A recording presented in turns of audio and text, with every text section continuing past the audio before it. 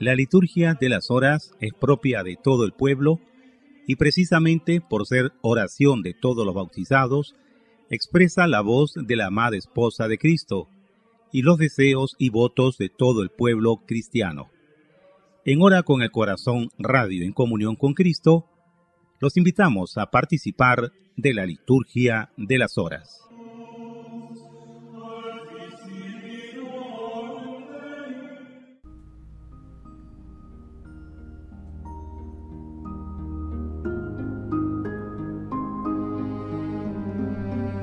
13 de diciembre del 2020, domingo de la tercera semana de Adviento. Oficio de lectura. Señor, abre mis labios. Y mi boca proclamará tu alabanza. Gloria al Padre y al Hijo y al Espíritu Santo. Como era en el principio, ahora y siempre, por los siglos de los siglos. Amén. Aleluya. El Señor está cerca, venid, adorémosle. Antífona del Salmo 99. Aclama al Señor tierra entera, servid al Señor con alegría, entrad en su presencia con aclamaciones. El Señor está cerca, venid, adorémosle. Sabed que el Señor es Dios que Él nos hizo y somos suyos, su pueblo y ovejas de su rebaño. El Señor está cerca, venid, adorémosle. Entrad por sus puertas con acción de gracias, por sus atrios con himnos, dándole gracias y bendiciendo su nombre. El Señor está cerca, venid, adorémosle. El Señor es bueno, su misericordia es eterna, su fidelidad por todas las edades. El, Señor está cerca, venid, adorémosle. Gloria al Padre y al Hijo y al Espíritu Santo. Como era en el principio, ahora y siempre, por los siglos de los siglos. Amén.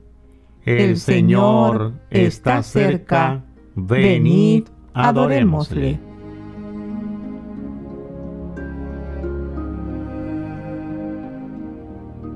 Himno.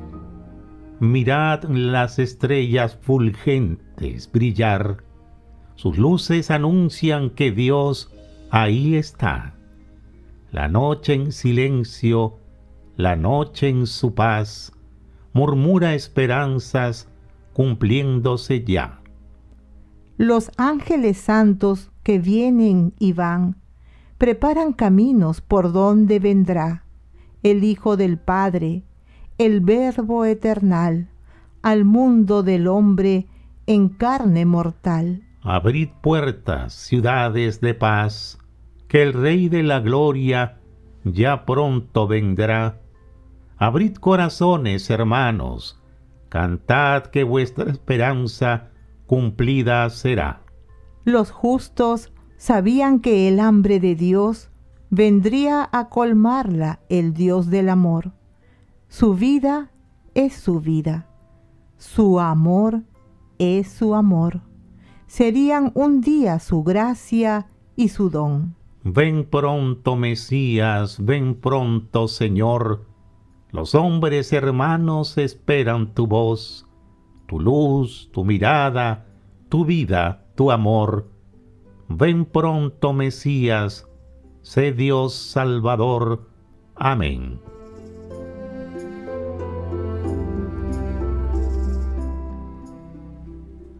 Mirad que viene ya el Rey excelso, con gran poder, para salvar a todos los pueblos Aleluya. Antífona del Salmo 144. Justo eres tú, Señor, el que es y el que era. Te ensalzaré, Dios mío, mi Rey. Bendeciré tu nombre por siempre jamás. Día tras día te bendeciré y alabaré tu nombre por siempre jamás. Grande es el Señor, merece toda alabanza Es incalculable su grandeza. Una generación pondera tus obras a la otra y le cuenta tus hazañas. Alaban ellos la gloria de tu majestad, y yo repito tus maravillas. Encarecen ellos tus temibles proezas, y yo narro tus grandes acciones. Difunden la memoria de tu inmensa bondad, aclaman tus victorias. El Señor es clemente y misericordioso, lento a la cólera y rico en piedad. El Señor es bueno con todos, es cariñoso con todas sus criaturas. Gloria al Padre, y al Hijo, y al Espíritu Santo. Como era en el principio, ahora y siempre, por los siglos de los siglos. Amén. Mirad, viene ya el Rey excelso con gran poder para salvar a todos los pueblos. Aleluya.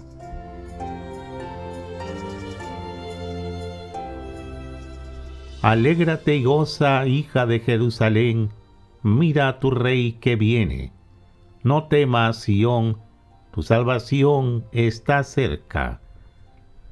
Antífona del Salmo 144, segunda estrofa. Que todas tus criaturas te den gracias, Señor, que te bendigan tus fieles, que proclamen la gloria de tu reinado, que hablen de tus hazañas. Explicando tus hazañas a los hombres, la gloria y majestad de tu reinado. Tu reinado es un reinado perpetuo tu gobierno va de edad en edad. Gloria al Padre y al Hijo y al Espíritu Santo. Como era en el principio, ahora y siempre, por los siglos de los siglos. Amén. Alégrate y goza, hija de Jerusalén. Mira a tu Rey que viene. No temas, Sión, tu salvación está cerca.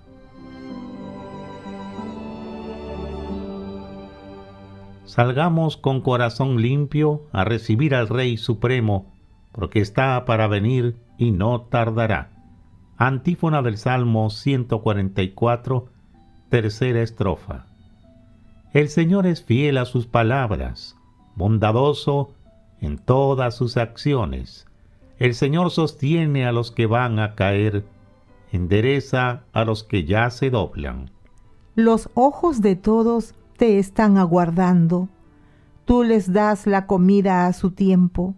Abres tú la mano y sacias de favores a todo viviente. El Señor es justo en todos sus caminos, es bondadoso en todas sus acciones.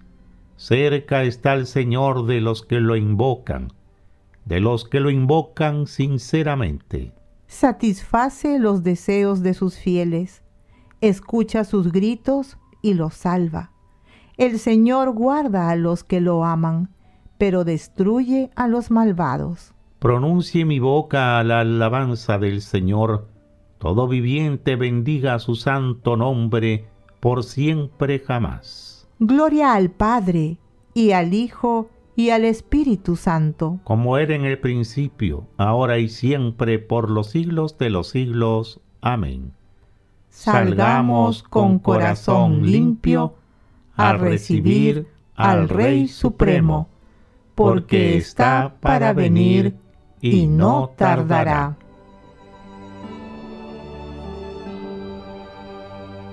El Señor anuncia su palabra a Jacob. Sus decretos y mandatos a Israel.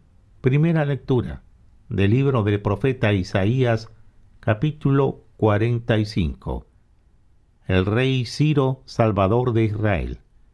Así dice el Señor a su ungido Ciro, a quien he tomado de la diestra para someter ante él a las naciones y de ceñir la cintura de los reyes, para abrir ante él los batientes, de modo que no queden cerradas las puertas.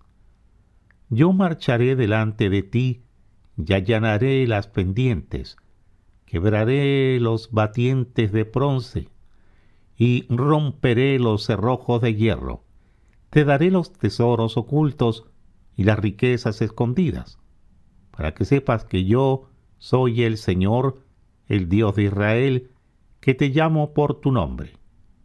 A causa de mi siervo Jacob y de Israel, mi elegido, te he llamado por tu nombre y te he ennoblecido, sin que tú me conozcas. Yo soy el Señor, no hay ningún otro. Fuera de mí ningún Dios existe. Yo te he ceñido sin que tú me conozcas, para que se sepa desde el sol levante hasta el poniente, que todo es nada fuera de mí. Yo soy el Señor, no ningún otro. Yo modelo la luz y creo la tiniebla. Yo hago la dicha y creo la desgracia.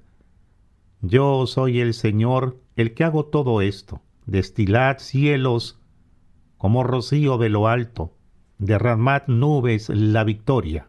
Ábrase la tierra y produzca salvación, y germine juntamente la justicia. Yo, el Señor, lo he creado. Ay de quien litiga con el que la ha modelado. La vasija entre las vasijas de barro. Dice la arcilla al que la modela, ¿qué haces tú?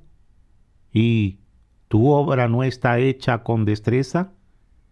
Ay del que dice a su padre, ¿qué has engendrado? Y a su madre, ¿qué has dado a luz?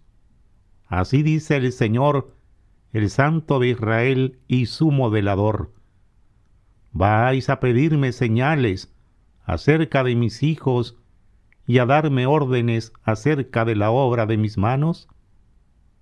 Yo hice la tierra y creé al hombre en ella. Yo extendí los cielos con mis manos y doy órdenes a todo su ejército. Yo le he suscitado para la victoria y he allanado todos sus caminos.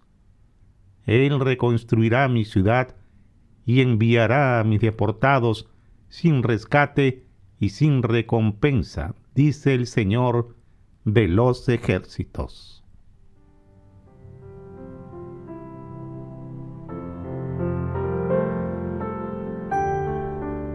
Responsorio. Cielos, destilad el rocío, nubes, derramad al justo. Ábrase la tierra y brote la salvación. Envía, Señor, al Cordero, soberano de toda la tierra, desde la peña del desierto al monte Sión. Ábrase la tierra y brote la salvación.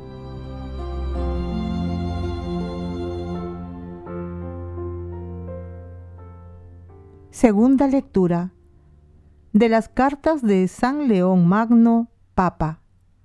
El misterio de nuestra reconciliación.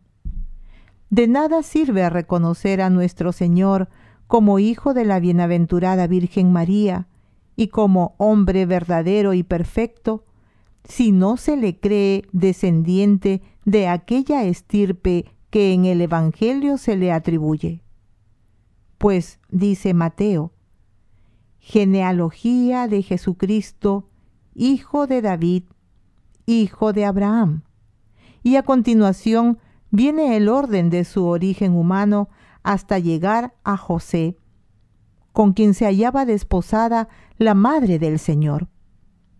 Lucas, por su parte, retrocede por los grados de ascendencia y se remonta hasta el mismo origen del linaje humano, con el fin de poner de relieve que el primer Adán y el último Adán son de la misma naturaleza. Para enseñar y justificar a los hombres la omnipotencia del Hijo de Dios, podía haber aparecido, por supuesto, del mismo modo que había aparecido ante los patriarcas y los profetas, es decir, bajo apariencia humana.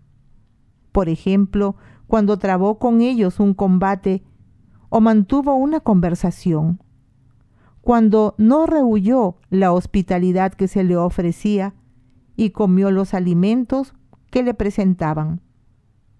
Pero aquellas imágenes eran indicios de este hombre, y las significaciones místicas de estos indicios anunciaban que él había de pertenecer en realidad a la estirpe de los padres que le antecedieron.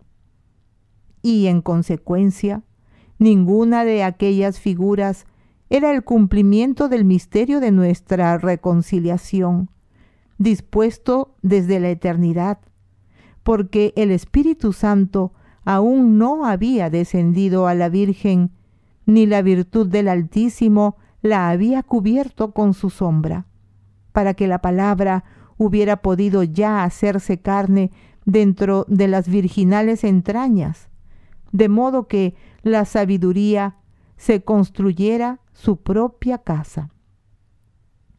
El creador de los tiempos no había nacido aún en el tiempo, haciendo que la forma de Dios y la de siervo se encontraran en una sola persona. Y aquel que había creado todas las cosas no había sido engendrado todavía en medio de ellas. Pues de no haber sido porque el hombre nuevo, encarnado en una carne pecadora como la nuestra, aceptó nuestra antigua condición y, consustancial como era con el Padre, se dignó a su vez hacerse consustancial con su madre. Y siendo, como era el único que se hallaba libre de pecado, unió consigo nuestra naturaleza.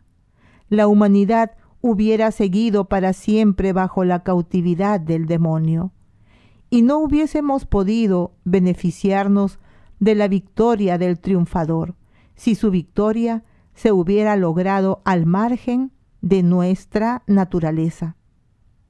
Por esta admirable participación ha brillado para nosotros el misterio de la regeneración, de tal manera que, gracias al mismo Espíritu, por cuya virtud Cristo fue concebido y nació, hemos nacido de nuevo de un origen espiritual, por lo cual el evangelista dice de los creyentes, estos no han nacido de carne, ni de amor carnal, ni de amor humano, sino de Dios.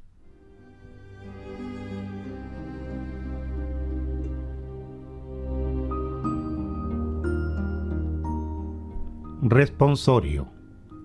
Mirad, la raíz de Jesé descenderá como salvación de los pueblos y la buscarán los gentiles. Y su nombre será glorioso. El Señor le dará el trono de David su padre, y reinará en la casa de Jacob para siempre. Y su nombre será glorioso.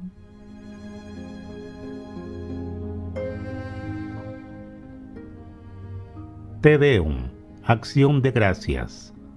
A ti, oh Dios, te alabamos, a ti, Señor, te reconocemos. A ti, eterno Padre, te venera toda la creación. Los ángeles todos, los cielos y todas las potestades te honran. Los querubines y serafines te cantan sin cesar.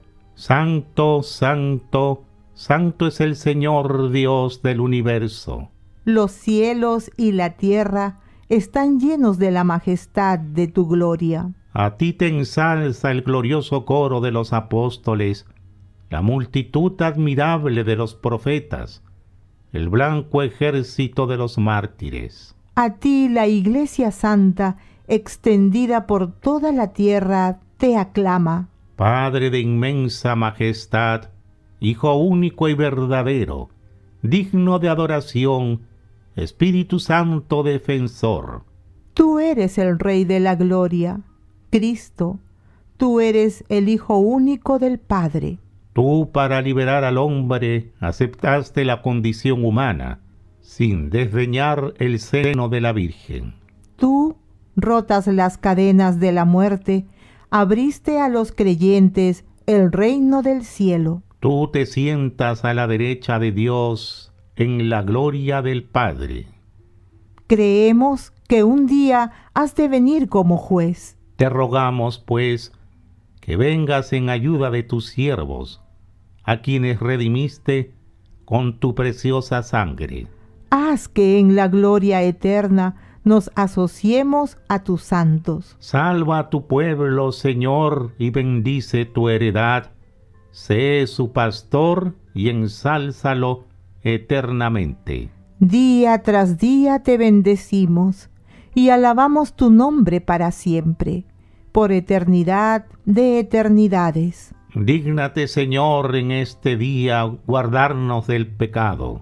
Ten piedad de nosotros, Señor, ten piedad de nosotros. Que tu misericordia, Señor, venga sobre nosotros, como lo esperamos de ti.